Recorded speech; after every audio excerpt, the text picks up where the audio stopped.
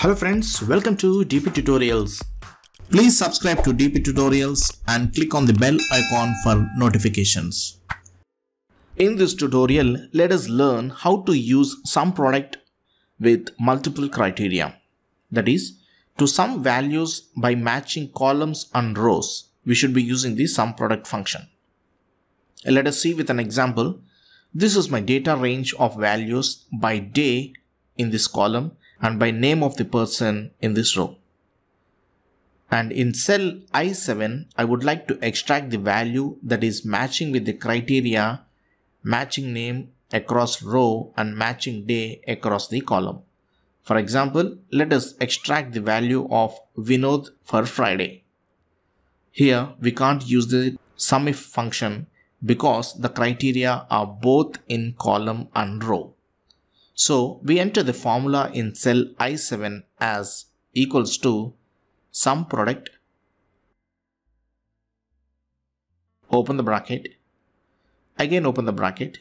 And now select the range as B5 to F11 close the bracket. Comma. Open the bracket. Now select the row range that is B4 to F4 equals to I5 that is my first condition. Close the bracket. Multiplied by open the bracket. Now select the range of the column criteria. That is A5 to A11 equals to give the condition as I6 close the bracket. And now again the again close the bracket for the SUMPRODUCT. Okay?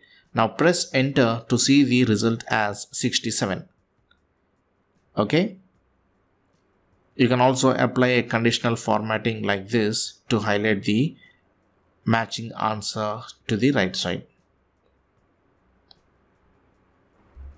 Similarly, you can change the name and day to see the result exactly matching with the data. Got it? So friends, this is all about using the SUMPRODUCT function to sum values matching columns and rows in Excel.